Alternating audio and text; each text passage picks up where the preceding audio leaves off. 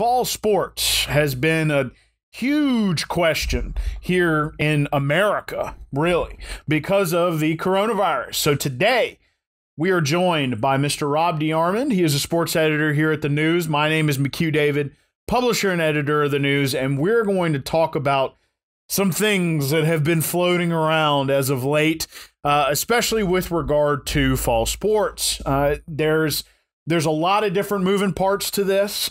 Uh, a lot of confusion because LHSAA has their own phases, the state has theirs. We're going to get into all that, but first, welcome you back to the the new booth. I guess you could say the the social distancing booth. How are you, Rob? It's been a while. Do, doing well, man. Doing well. Uh, I, I, was going to say, how does this thing work? It's uh, I'm trying to get back in the saddle and, and see how uh, things come together here. Right. I, I was actually looking in our archives and I was like, gosh, man, the last time we sat down was when we were talking with coaches and it was playoff time for basketball. basketball right? We, I mean, we just missed baseball and softball. So, you know, no fault of our own, man. No, no, it's not. We we did not wish this. I don't mind. I don't mind telling you. So, you know, there's the, before we get into the football side of this, which is really what's caused a lot of confusion. Right. Do want to talk quickly about some of the other fall sports that are still still going to happen because a lot of those are a lot less um, you know uh, interactive i guess you can say than football. Uh, that would be volleyball and cross country. So just give us a you know brief overview of where those two sports stand they're practicing right now. Uh, they're probably going to go ahead as long as uh, as we discussed, the LHSAA moves into different phases, and we'll get in more detail that later. If, if you're looking, and, and I'm strictly going by the chart that, that Mr. Eddie Bonine gave to the uh, the House Committee on Monday, if you're if you're looking at what's going on there with cross country, and they're in phase two right now, and uh, this chart, you can check it out with the stories that I filed uh, earlier this week on regarding these phases in phase four, but it's attached to that story. Go check it out on our website, livingstonparishnews.com. Um, but for cross country, they've got the green light starting in phase 2 mm-hmm. So they can do everything right now, which is uh, that's great for them. Uh, and they've really probably been under the, the least amount of restrictions because you're you know you're obviously outside, right? Uh, which helps everything. With volleyball, it's a little bit different, but they're in the same boat. Once you get into phase two, they've got the green light to go all the way through for everything. So, in that regard, you would have to think that their seasons might be right on schedule. Again, I say might. Sure. Because we, I, I don't want to say yes and and something happen and say and you know we, right. So and, and and that's why we're here. And and and we are going to focus on football. There's a lot of like you and I have been been discussing over the last couple of days, you know, via text and on the phone, is that there's a lot of back and forth on social, especially on social media. People worried about seasons being canceled, people saying, you know, they shouldn't be canceled, you know, and a lot of this stuff is operating outside of of the realm of what these guys have to work with. Want to start off, you have spoken to coaches, athletic directors, and LHSA director Eddie Bonine, correct? Yes. So we've got a wide breadth of information to talk about today. Uh, first, I want to start with the man, the guy over it all, Mister Mister Bonine or Director Bonine, if you will. That that sounds very fascist, so we're just going to say Mister Bonine. Mister Bonine. Uh, yeah. And so, you know, one of the things that he's trying to reiterate with people, first and foremost, is that the LHSA has their phases which are loosely based on the state's phases. So let's start there. And you already brought it up a little bit. Obviously, he released a chart that said in this phase, this sport, these each sport can do this, in this phase, blah blah blah. Tell us a little bit about the fact that the LHSA has their own phases and the state has theirs. Right. I'm going to go back to, I'm looking at this chart again. Swimming is right above volleyball. Swimming has a green light on everything in phase two. Okay. I'm looking at it again. Volleyball, you're able right now in phase two to practice and have inter squad scrimmages. Okay. Now, the green light for volleyball would kick in in the LHS phase, phase three. Okay. Um, and I, this is just me looking at it again. That's why we do this. Sure. We want to make sure we're correct, obviously, on everything we do. But to, to answer your question, um, what I'm going to do is kind of take you through the process of putting together that story and how this kind of came together. Um, I think I was out covering something else on Monday. You texted me with this, uh, you know, football moving to phase four, and you don't hear a lot about phase four Sure. and anything. So when you see it, you kind of go, okay, what does this actually mean?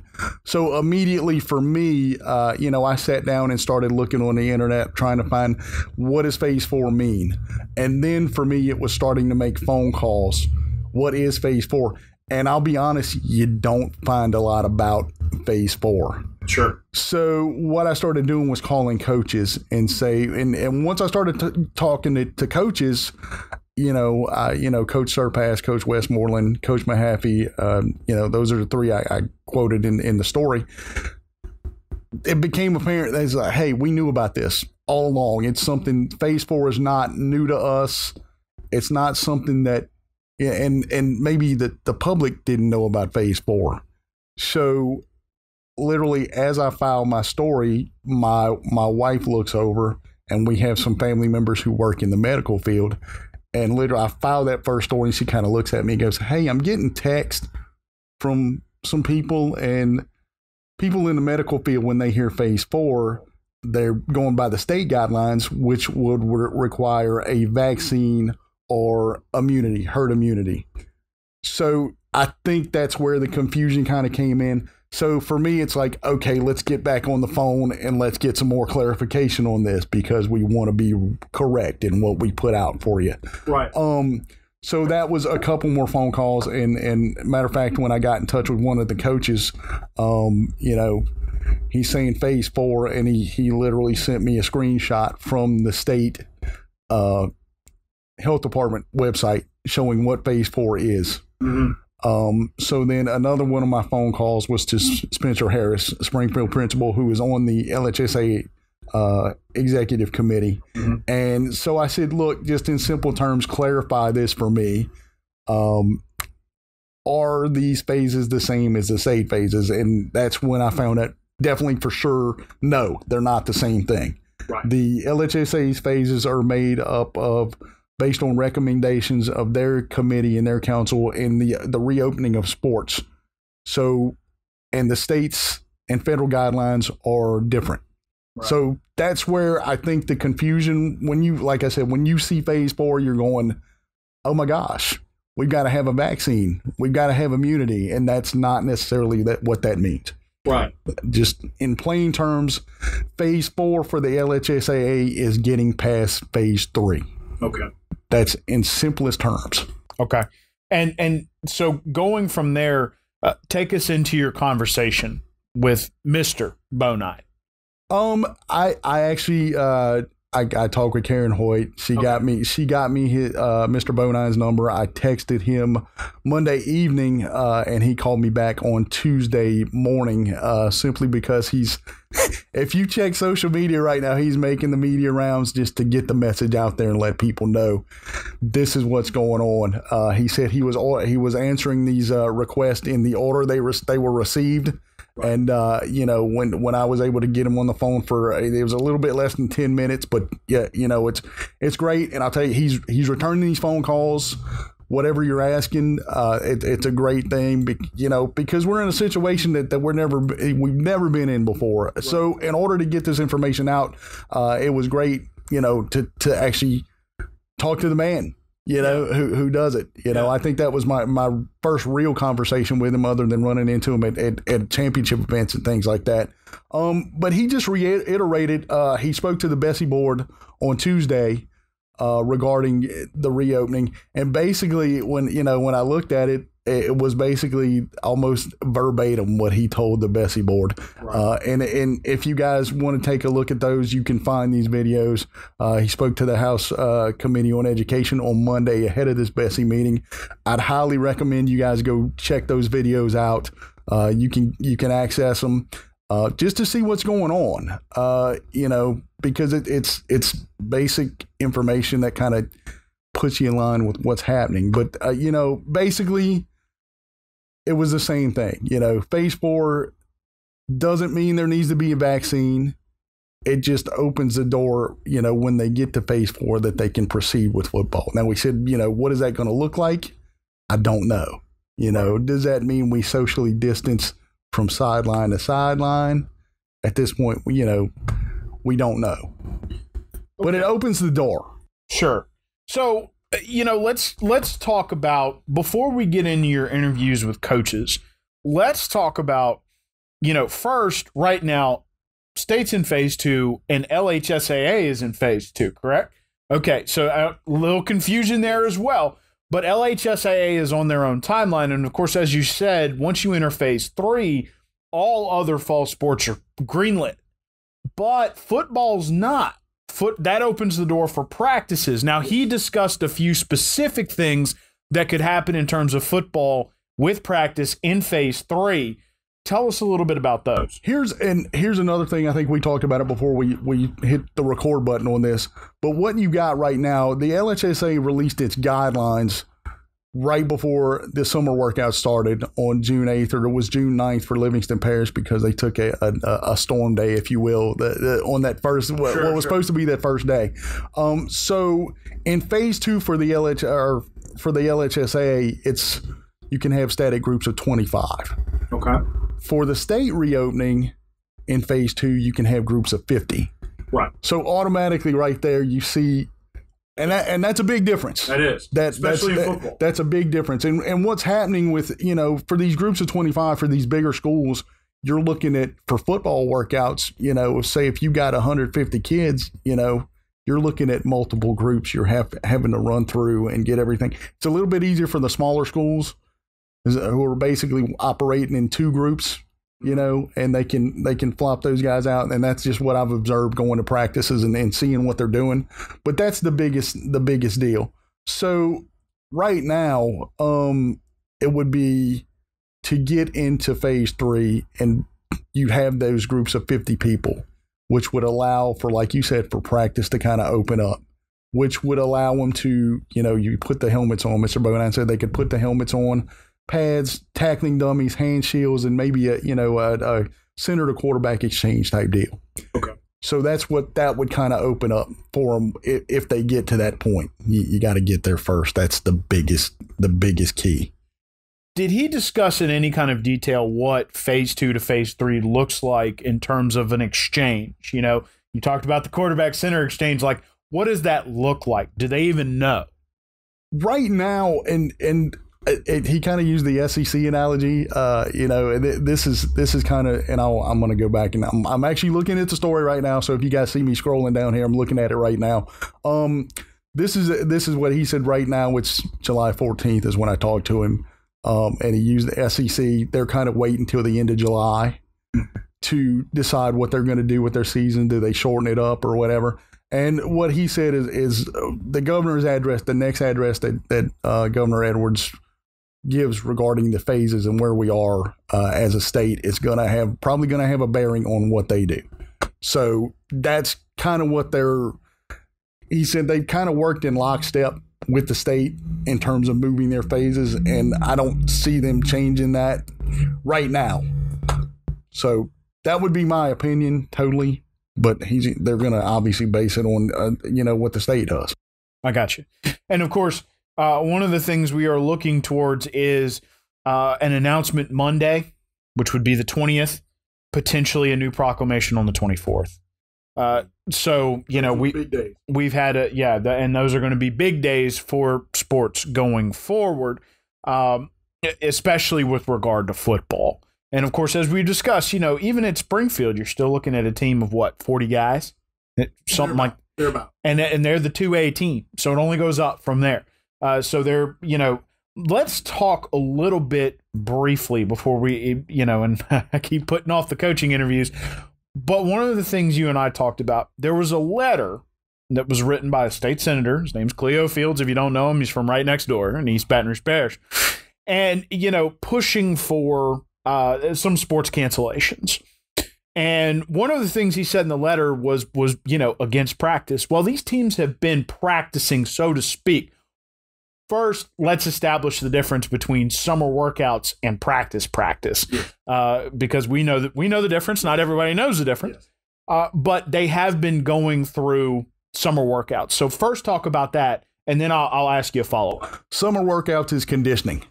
Right. It's getting the kids back in shape, uh, you know, working on endurance, things like that. You know, uh, it's not necessarily hitting, putting on pads, you know, and that's where they're at right now, lifting weights, things like that. It's not practice, practice where you're going full bore on things.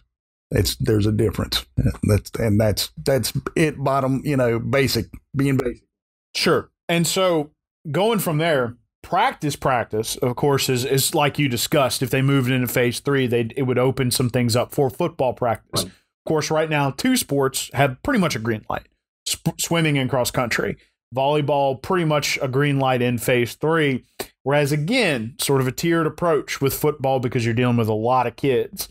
Um so, you know, talk a little bit about what it would look like you know when when real practice starts for those other sports and then talk a little bit about what that sort of tiered approach might mean for football for football what you're looking at is when once you get to phase 3 you can start that kind of we go back to again and I'm kind of you know it's practice where you can actually do things. You can put the the, the helmets on and you can kind of move around. Right now the, the kids in football are you know they're in shorts and t-shirts uh, just kind of running through things getting conditioning down things like that. It's going to be a little different. Um, like i said cross country's had that green light from phase one. Right. You know so they they've been able to I, it, it hasn't really and i haven't really talked to any coaches. I, that, that might be a good idea. Just, if you guys are listening i might be making some phone calls. Andy you're gonna get a call. There you go. There you go. So uh, and but they've had that green light, and and it really it doesn't look like it, it's affected them too much. But what you're trying to do is obviously, and that that's the big thing. Uh, you know, Mr. Bonine said to move on, you have to see those numbers start dropping. You know, for a static period, and he mentioned that the governor's phases normally last about 21 days. You know, but they said we they need to see 14, 21 to move to that that next phase. Right. So let's you know, there's a lot of people, you know, we've talked about it. They they're still waiting for that announcement, just like a lot of people coming up Monday. Obviously, right now, masks are mandated. So we weren't really moving in a great direction. Hopefully, we've turned that around. That's going to have a lot of bearing on what happens with football. However, we have, you know, especially on top of the letter from the state senator, you got a lot of people who are like, well, they should cancel or they are going to cancel. Let's move into these coaching interviews. You know, uh, based on what we've seen, that's not how schools are approaching it. That's not how systems are approaching it. And that's not how the LHSAA are approaching it.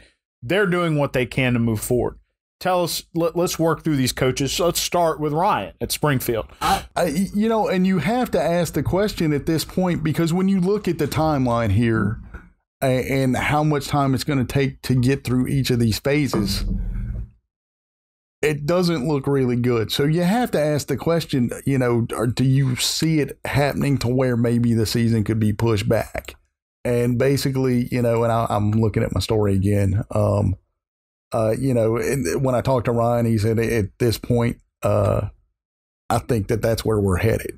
You know, it, for at least a, a, a, maybe a later start or maybe a condensed season. Now, again, I'm not saying that's going to happen, but it looks like where we're. If you look at the timeline from when practice is supposed to start, right, and when that first game is, and you look at how many weeks it put, could potentially take to get through here from phase to phase, it, we've got, I don't want to say problems, but it, it could create problems in terms of scheduling and how that schedule's supposed to work.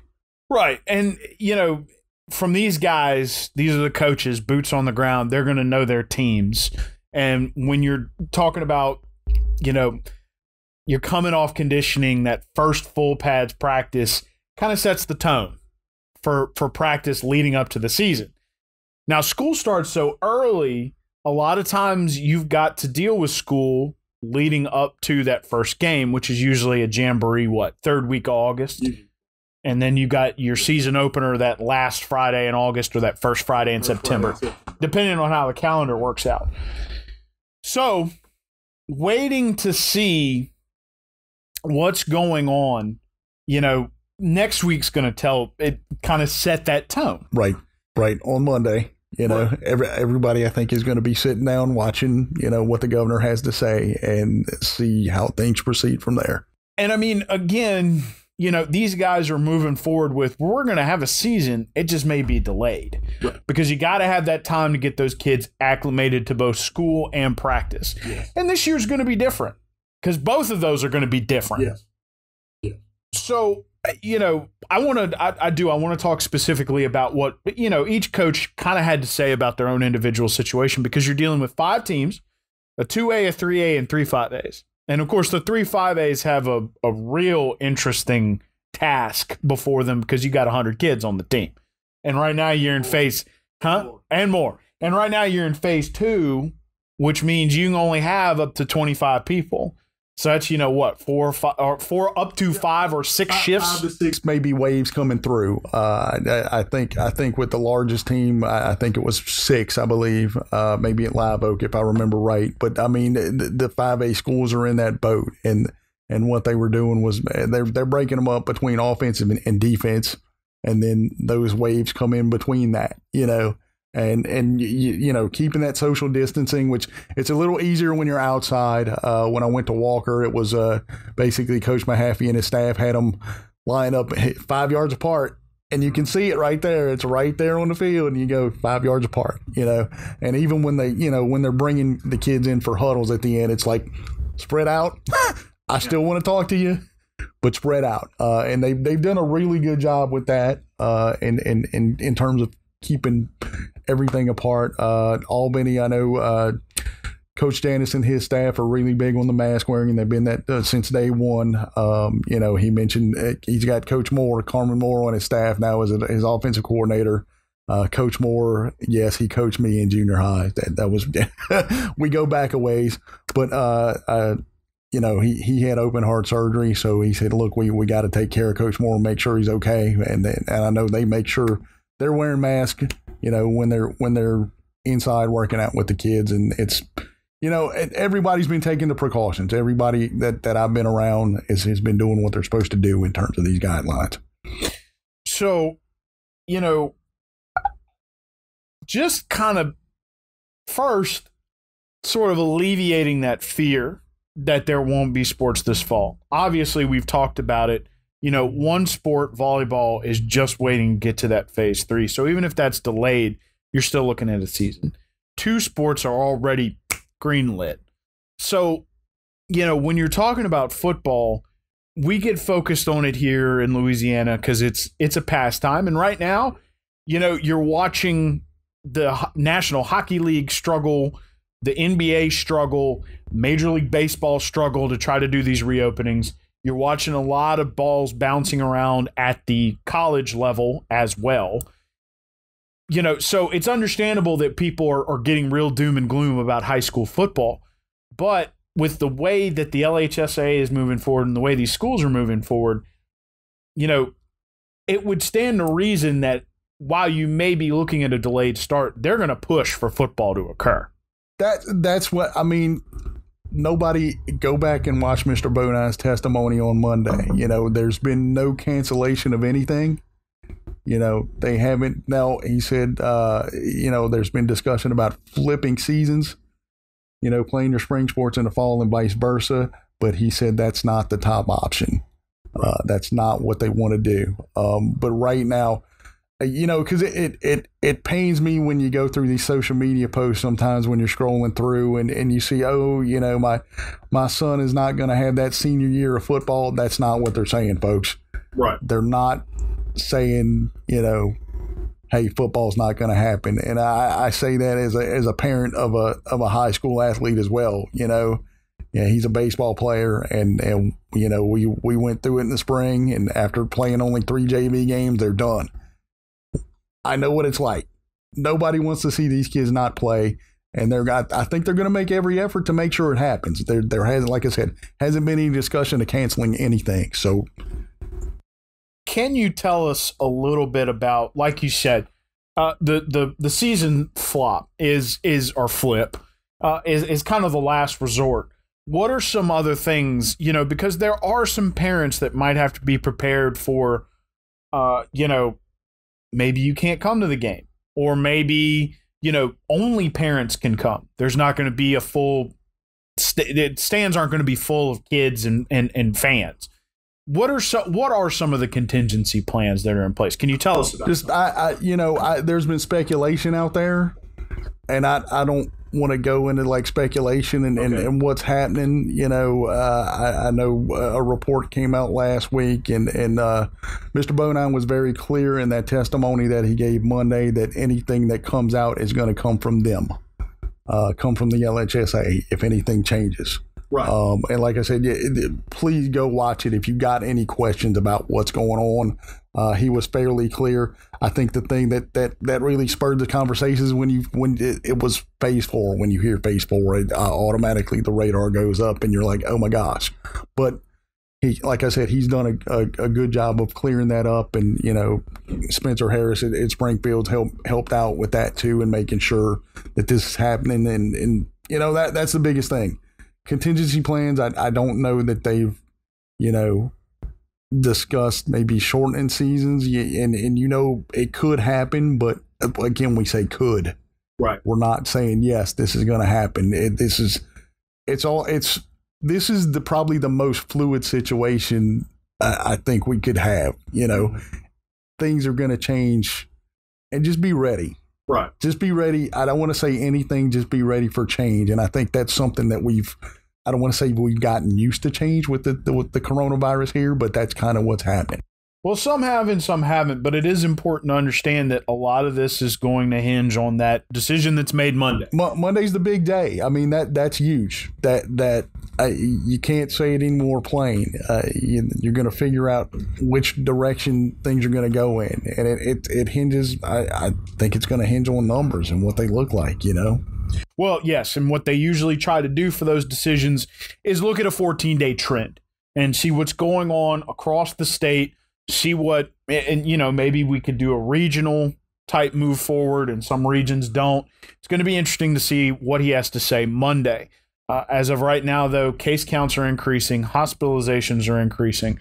So it is important to understand that the state is, you know, it's not moving in a great direction, but it's not anything that we can't overcome. We already did it once. Right. Now, of course, the governor, uh, who is a West Point graduate, former military guy, said you don't want to bleed for the same for the same land twice. We're gonna have to, at least to a certain extent, but it's definitely doable. Please remember, folks. Please, please, please remember that your actions and the way that you treat this is has a lot of bearing on what happens with high school sports this year. And while the as as you have explained, sir, very well, while the LHSAA's phases are not the same as the states, they do hinge upon them. And it is important to wear that mask, keep your hands washed, and distance socially in public. Mr. DeArmond, we do appreciate you taking the time. We appreciate you taking the time to go out and interview all these folks. Please, please, please, guys, remember, and I'm going to let you reiterate this too. You know, th- this is not a doom and gloom situation. Three out of the four fall sports look like they're moving forward regardless. The fourth one, which is football, just might might have a delayed uh, start. So again, sir, thank you. No problem, no problem. And remember, uh, you know, like Mr. Bonine said, they as far as these phases go, they've kind of gone lockstep in what the state does with what the state does. So, I, and I'm not saying that's what they'll do. It's just Monday's a big day. Monday is a big and day. determining how this proceeds. Uh, I just don't want, like I said, I don't want anybody thinking, hey, there's not going to be any football season for for anybody. Uh, nobody wants that for these kids. And but some early reports on Monday came out and said there would be no football. That is inaccurate. Right. Nobody's ever said they're canceling the season. So there is, you don't want to say hope. I think football is going to happen, and that's strictly my opinion. It just may look a little different this fall. Right. And may start for public consumption a little later. A little later. Again, Mr. Rob DeArmond, our sports editor here at the Livingston Parish News, we appreciate uh, you going around getting those interviews and compiling everything. And, you know, you did. You gave people a little hope, but uh, you know it's not just hope. These guys are pushing forward. These coaches, these systems, the LHSAA, they want to play football. Uh, you you, you want to see all these kids be able to play. Everybody, everybody, you know. But we have to be safe about it. That's the biggest thing. One last time. My name is McHugh David, publisher and editor of the news. Appreciate you guys joining us for the Livingston Parish News podcast. Uh, you can find it on Anchor FM, which also pushes it out to all podcast platforms. We post it on Facebook and Twitter. We also put it on our website, www.livingstonparishnews.com. Also, in the description, we are going to include a link to that uh, interview video with Mr. Bonine well, a testimony video, if you will. So you can check that out. We have referenced it several times, so we want people to be able to watch it. We appreciate you guys joining us one last time. We are probably going to reconvene, especially once we get an idea of what happens Monday and then what's going to happen with the LHSAA later in July as we move forward towards school. We hope you you all have a good day. Stay hopeful for high school sports. There plenty of it's going to happen, and it looks like football is going to happen too. That is again at this point our opinion, but we do believe it's going to happen, and we will see you guys next time.